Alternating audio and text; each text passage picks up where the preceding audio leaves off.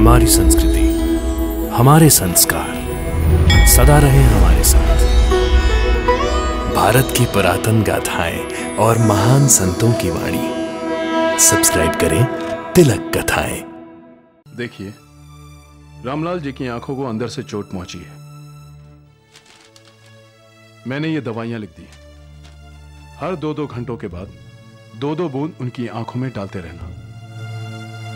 और हाँ तीन दिन के बाद फिर से इन्हें चेकअप के लिए ले आइए। डॉक्टर साहब मैं फिर से देख तो सकूँगा ना? अभी नहीं। इसके लिए पूरा इलाज करना पड़ेगा। इलाज करना पड़ेगा? पूरे इलाज के लिए कितने पैसे लगेंगे डॉक्टर साहब? दो सौ रुपए लगेंगे। मैं इंतज़ाम करूँगी डॉक्टर साहब। कैसे भी इंतज़ाम करूँगी। मनीषा जी आप श्याम सुंदर घर में है। श्याम सुंदर? अरे हाँ। श्याम सुंदर जी और निर्मला दोनों बाहर गए हैं दस पंद्रह दिन के लिए। क्यों? कुछ काम था दामाद जी से? वो मुझे दो सौ रुपए की बहुत ज़रूरत थी।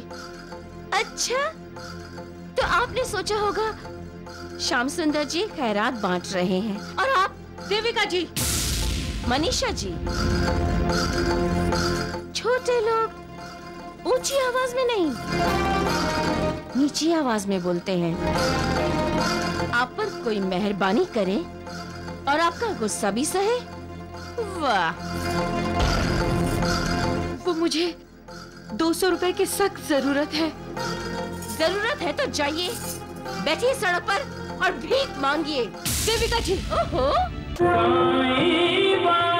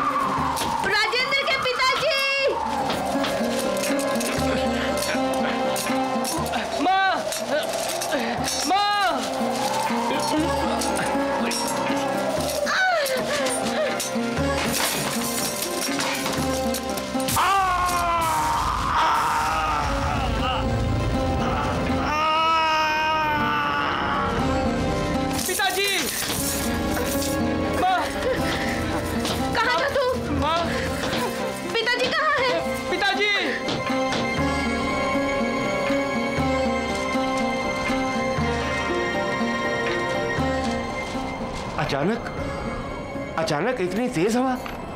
लगता है आसपास कहीं तूफ़ान आया है।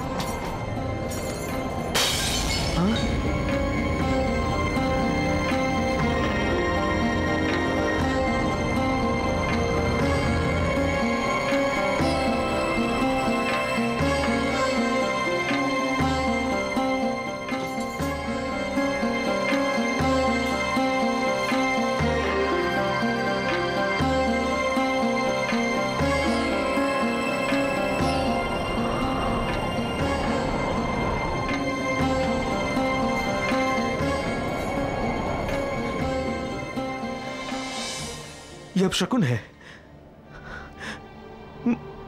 मेरे भाई साहब ठीक नहीं है निर्मला। मेरे भाई साहब ठीक नहीं है। आप ऐसा क्यों सोचते हैं?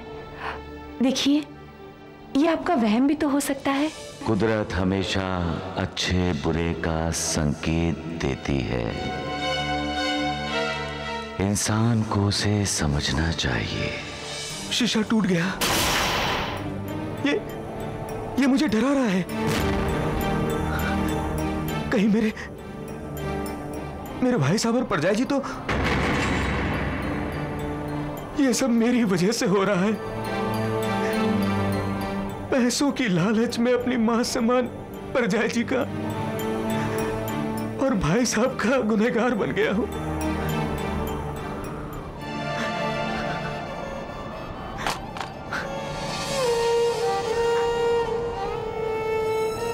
बाबा,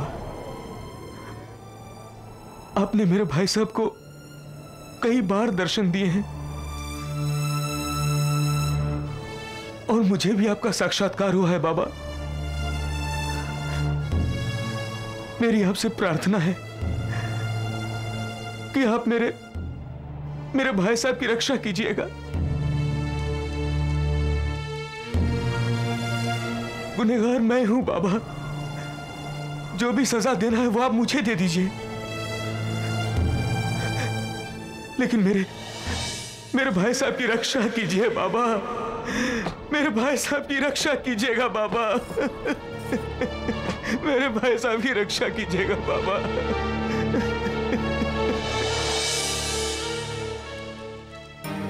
अरे! पिताजी! क्या हुआ आपको? पिताजी! क्या हुआ? उठिए ना। उठिए। पिताजी। मदद करो। पिताजी। उठिए। ज़िंदगी में कितने उतार चढ़ाव आते हैं। बहुत से आंधी तूफानों का मुकाबला करना पड़ता है। इंसान को अपनी ज़िंदगी में वक्त इंसान की श्रद्धा और मालिक पर विश्वास को डगमगा देता है। बुरे से बुरे हालात में भी जिसका विश्वास जिसकी श्रद्धा मालिक पर से नहीं डूलती वही सच्चा भक्त है। उसी पर मालिक की कृपा होती है। आँखें खोलिए। पिताजी। मैं मैं मैं कहा हूँ? आँखें खोलिए। अब लोग कौन है आप लोग? ये क्या बोल रहे हैं आप? मैं मनीषा आपकी पत्नी। मैं आपका बेटा पिताजी राजेंद्र। मनीषा? राजेंद्र? मेरी पत्नी? मेरा बेटा? ये क्या हो गया? मुझे, मुझे कुछ दिखाई नहीं दे रहा है। ये क्या कह रहे हैं आप? मेरी मेरी आँखों के सामने अंधेरा अंधेरा ही अंधेरा छा गया है। मुझे कुछ दिखाई नहीं दे रहा है। मनीषा मनीषा राजेंद्र मैं मैं मैं अंधा हो गया हूँ। मैं अंधा हो गया हूँ।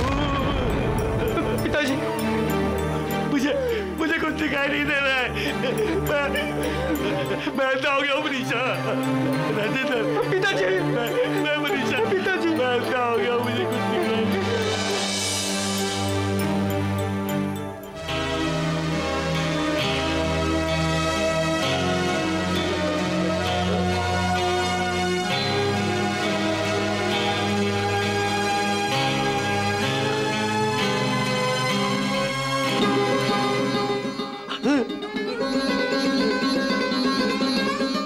कोई फ़ायदा नहीं है।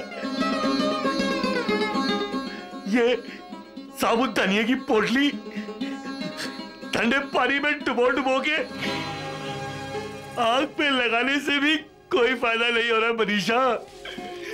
कोई फ़ायदा नहीं हो रहा है। मेरी मेरी आग की रोशनी वापस नहीं आ रही है। मैं अंधा हो गया हूँ मनीषा। मुझे कुछ नहीं ये क्यों उठकर चलने लगे आप? मनीषा राजेंद्र? मनीषा क्या मैं क्या मैं सचमुच अंधा हो गया हूँ? क्यों ऐसी बातें करते हैं? हम बड़े से बड़े आँख के डॉक्टर को दिखाएँगे। अब फिर से देखने लग जाएँगे। हाँ पिताजी आप फिर से देख सकेंगे। मुझे मुझे एक बार एक बार बाबा के पास ले चलो। मुझे एक बार बाबा के पास ले चलो मुझे बाबा को देख रहा है। वो यहाँ भी जाए तब भी मैं बाबा को नहीं देख पाऊँगा। मुझे मुझे बाबा के पास ले चलो। अरे। तुम मुझे देख सकते हो रामलाल।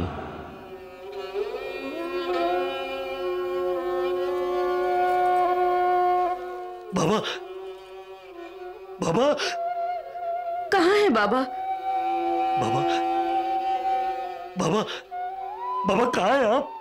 अपने दिल में झांको रामलाल। मैं वहाँ हूँ।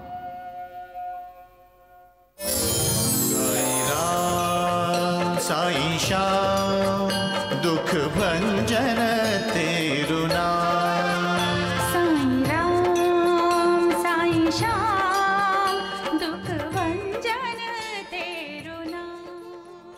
मुझे कहीं ढूँढने की ज़रूरत नहीं है।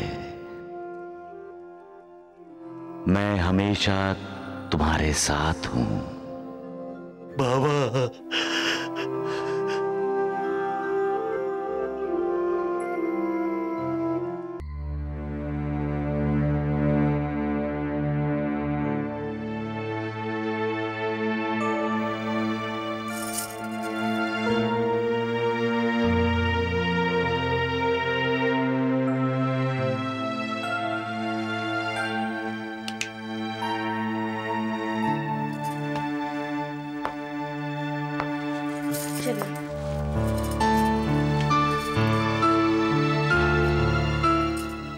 डॉक्टर साहब आपने कुछ बताया नहीं। डॉक्टर साहब मैं एक बार एक बार बाबा को देखना चाहता हूँ डॉक्टर साहब। बैठिए। सिर्फ़ एक बार। मैं मैं सिर्फ़ एक बार बाबा को देखना चाहता हूँ। सिर्फ़ एक बार। जो दिल से मालिक की भक्ति करता है। मालिक के दर्शन करना चाहता है। मालिक उसे कभी निराश नहीं करता। ऐसे भक्तों का और भगवान का साक्षात्कार होकर ही रहता है। डॉक्टर साहब आप कुछ बोलते क्यों नहीं? देखिए रामलाल जी की आँखों को अंदर से चोट पहुँची है। मैंने ये दवाइयाँ लिख दी हर दो दो घंटों के बाद दो दो बूंद उनकी आँखों में डालते रहना। और हाँ तीन दिन के बाद फिर से इन्हें चेकअप के लिए ले आइए। डॉक्टर साहब मैं फिर से देख तो सकूँगा ना? अभी नहीं। इसके लिए पूरा इलाज करना पड़ेगा। इलाज करना पड़ेगा? पूरे इलाज के लिए कितने पैसे लगेंगे डॉक्टर साहब? दो सौ रुपए लगेंगे। मैं इंतज़ाम करूँगी डॉक्टर साहब। कैसे भी इंतज़ाम करूँगी। पति पत्नी एक दूसरे के सच्चे और अच्छे मित्र हैं। क्योंकि दोनों के सुख, दुख एक होते हैं। दोनों एक दूसरे के लिए जीते हैं। ऐसी मित्रता और भला कहाँ मिल सकती है? जब दोनों में से किसी एक को ठोकर पहुँचती है तो दूसरे को दर्द होता है, और जब एक को खुशी होती है तो दूसरे को आनंद होता है। कहाँ है ऐसी मित्रता? ऐसा पवित्र रिश्ता मालिक को भी खुशी देता है। सबका मालिक एक। क्या सोच रहे हैं आप?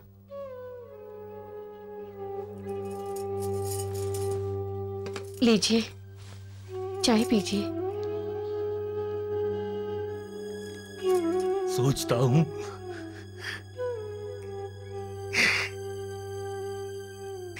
कि सोचकर भी क्या होगा? कुछ नहीं। मेरे सामने तो अंधेरा ही अंधेरा है। उम्र भर के लिए। अब मैं कभी नहीं देख पाऊँगा मरीशा बाबा को भी नहीं देख पाऊँगा। क्यों नहीं देख पाएँगे? ज़रूर देख पाएँगे। माँ क्यों झूठ बोल रही हो? इलाज के लिए हमारे पास दो सौ रुपए कहाँ है? चुप कर। जा। जाके बाहर खेल। क्यों? क्यों बच्चे को डांट रही हो? इसकी इसकी क्या गलती है मनीषा? बच्चा भी हूँ और सच्चा भी हूँ। जब माँ के पास स्कूल के खेलों के लिए मुझे देने के लिए दो रुपए नहीं है तो आपके इलाज के लिए दो सौ रुपए कहाँ से आएँगे पिताजी?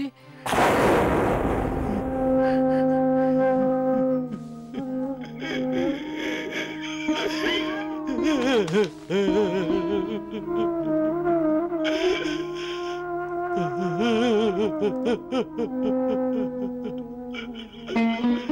माफ़ कर दो माँ। मुझसे गलती हो गई।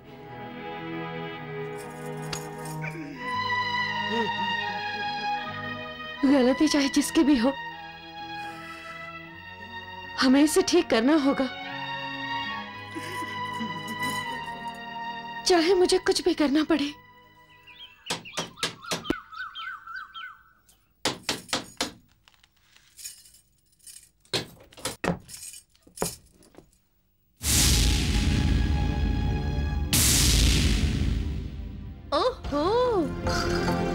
मनीषा जी आप श्याम सुंदर घर में है? श्याम सुंदर? अरे हाँ श्याम सुंदर जी और निर्मला दोनों बाहर गए हैं दस पंद्रह दिन के लिए। क्यों? कुछ काम था दामाद जी से? वो मुझे दो सौ रुपए की बहुत ज़रूरत थी। अच्छा तो आपने सोचा होगा श्याम सुंदर जी खैरात बांट रहे हैं देविका जी। मनीषा जी। छोटे लोग ऊँची आवाज़ में नहीं, नीची आवाज़ में बोलते हैं। आप पर कोई मेहरबानी करे और आपका गुस्सा भी सहे। वाह। वो मुझे दो सौ रुपए की सख्त ज़रूरत है। ज़रूरत है तो जाइए। बैठिए सड़क पर और भीख मांगिए। देविका जी, ओहो। फिर गुस्सा आ गया। गुस्सा मुझे भी आया था उस दिन। जिस दिन आपने मेरी बेटी निर्मला को थप्पड़ मारा था और मेरे दामाद जी के मुँह पर कानूनी कागजात फेंक कर उनका अपमान किया था। आज से तुम राजेंद्र साइकिल्स के आधे हिस्से के मालिक हो गए हो। ये लो।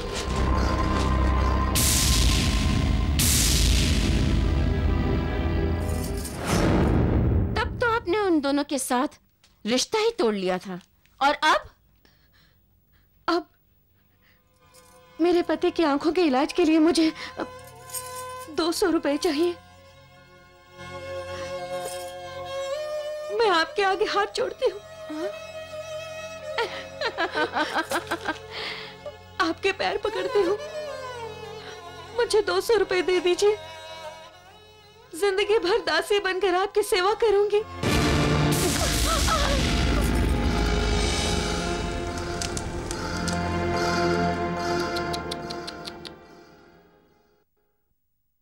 दो सौ रुपए से मैं तुम्हें खरीद लेती।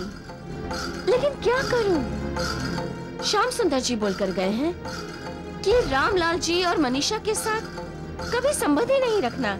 और अगर वो आए तो उन दोनों को लात मार कर यहाँ से भगा देना।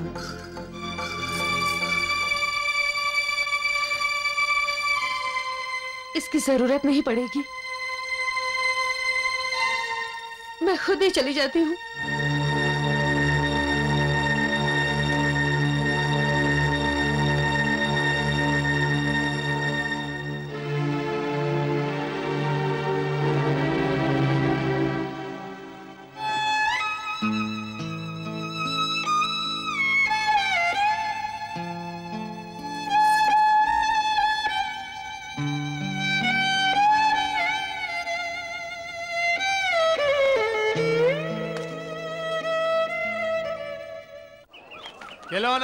खिलौना। अच्छा अच्छा खिलौना।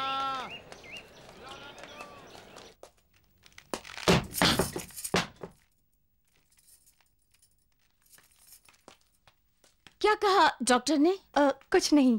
बस अच्छे से खाया पिया करो अ, आराम करो और कुछ नहीं। अरे तीसरा महीना तो अभी लगा है तुम्हें। वो सब छोड़िए सासू माँ और ये बताइए क्या प्रजा जी यहाँ पे आई थी? म, मनीषा जी यहाँ? नहीं तो? अरे अगर मनीषा भाभी यहाँ आती तो क्या माँ उन्हें रोक के नहीं रखती? हाँ तुम्हारे वापस आने तक तो मैं उन्हें रोक कर ही रखती ना।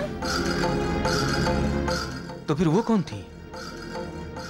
जो हु बहू प्रजा जी जैसी थी? आ... और अभी अभी हमारे घर से बाहर निकल कर गई हैं।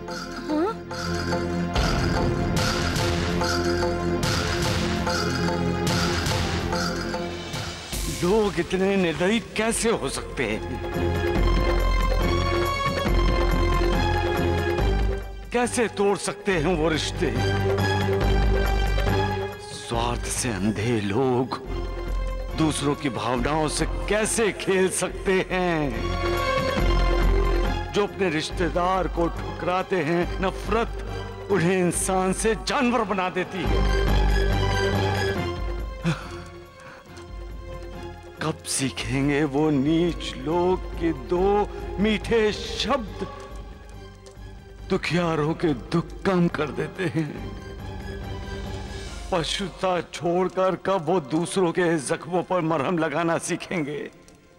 कब जानेंगे माँ और बेटे के बीच में दीवार नहीं खड़ी करनी चाहिए?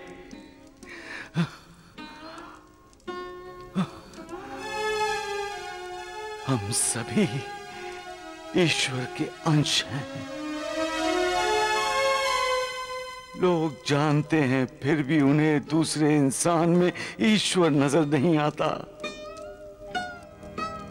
ऐसे लोग इंसानियत के दुश्मन हैं, जो दूसरों को दुखी देखकर खुश हों, जो दूसरों को रोते देखकर मुस्कुराएँ, दूसरों के जख्मों पर जो नमक छिड़के ऐसे लोगों को क्या कहा जाए?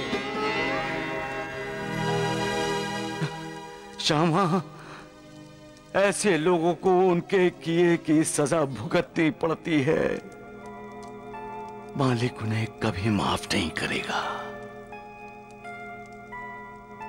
कभी नहीं।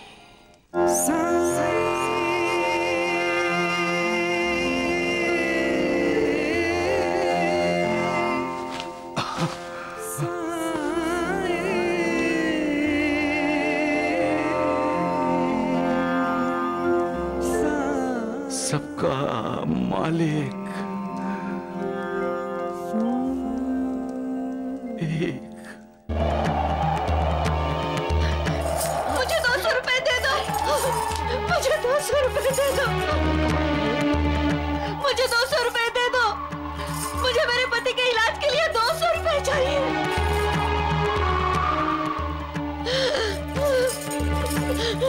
मुझे दो सौ रुपए दे दो। मुझे दो सौ रुपए तुम लोग किसी के पास भी दया नहीं है। मुझे दो सौ रुपए दे दो।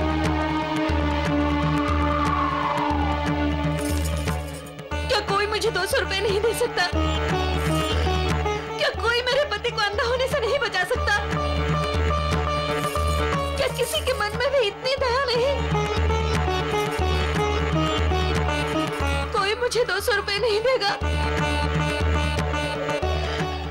कोई इतना दयालु नहीं।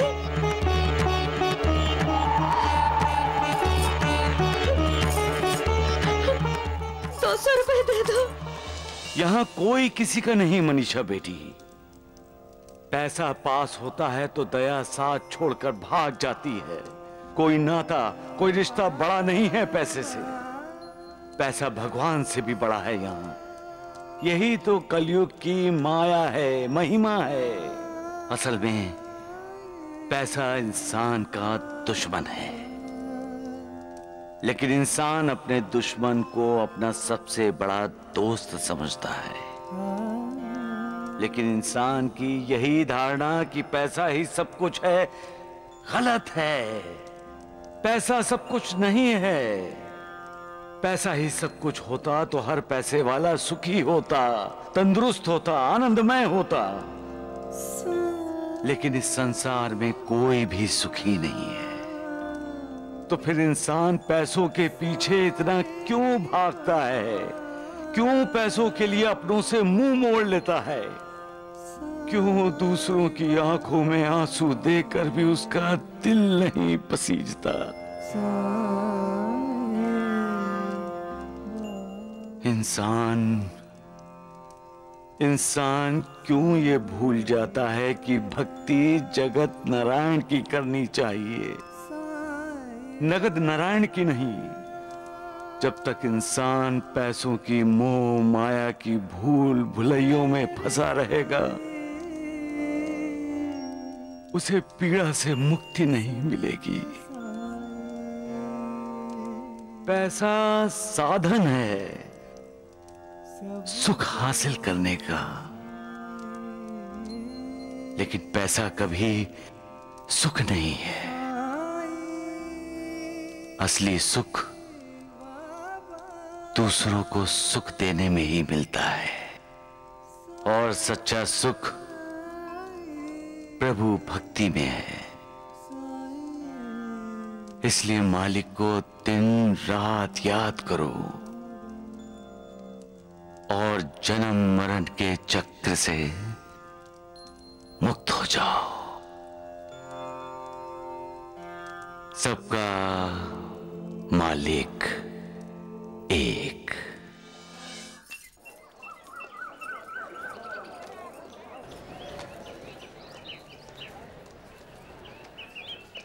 अरे बीकू यहाँ क्यों खड़े हो?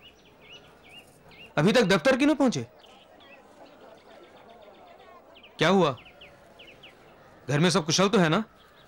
मेरा परिवार तो कुशल से है मालिक।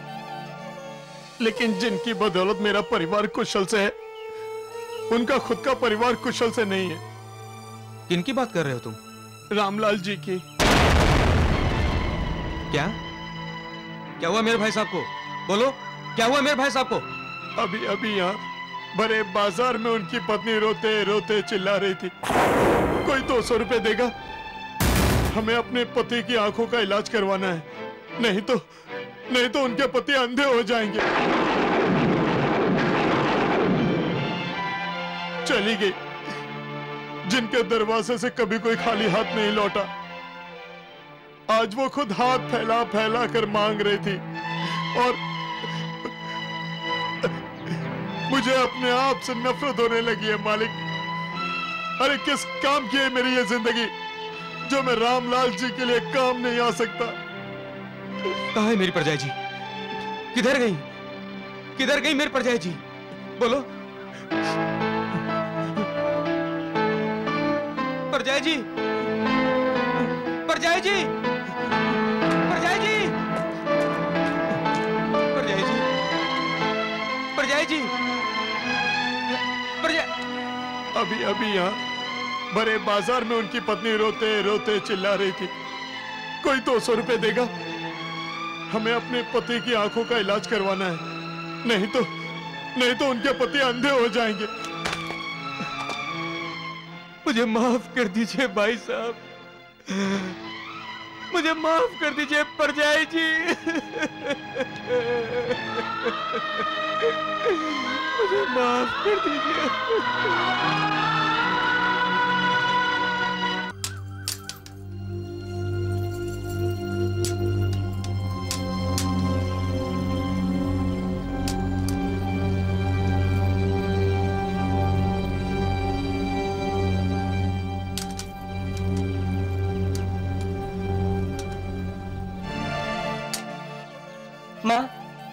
पिताजी माँ आ गई।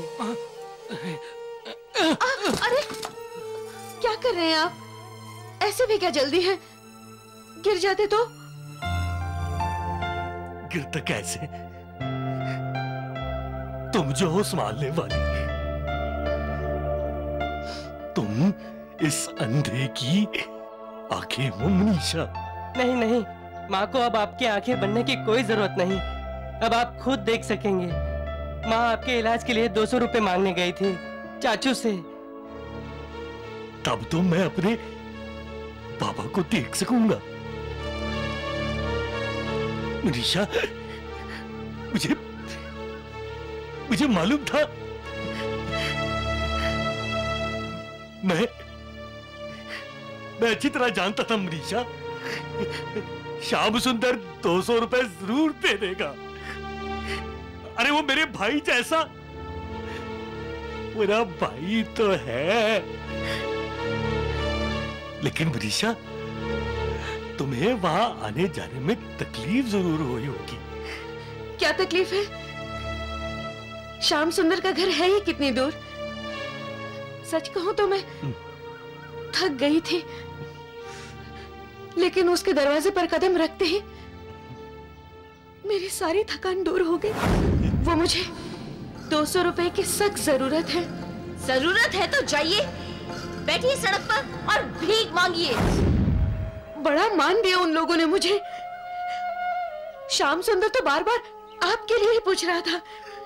कह रहा था भाई साहब क्यों घर छोड़कर चले गए? और कहने लगा बेशक कंपनी हमारे नाम हो गई हो लेकिन कंपनी के मालिक तो आज भी रामलाल भाई साहब ही हैं। मैं जानता हूँ। मेरा श्याम सुंदर दिल का बुरा नहीं है। फिर क्या हुआ माँ? मुझे शरबत पिलाया। निर्मला बहू और उसकी माँ ने बड़े प्यार से मुझे खाना खिलाया। आपके पैर पकड़ती हूँ। मुझे दो सौ रुपए दे दीजिए। ज़िंदगी भर दासी बनकर आपकी सेवा करूँगी।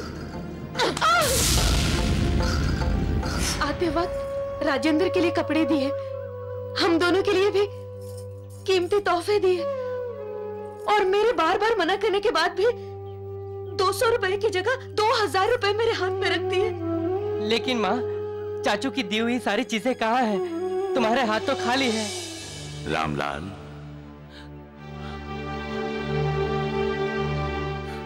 बाबा। रामलाल? तुम्हारे दिल को ठेस ना लगे इसलिए तुम्हारी पत्नी ने तुमसे झूठ बोला। दरअसल उसका वहाँ अपमान हुआ है रामलाल। मनीषा। श्याम सुंदर ने तुम्हारा अपमान किया। श्याम सुंदर ने हमारे साथ सारे रिश्ते तोड़ लिए।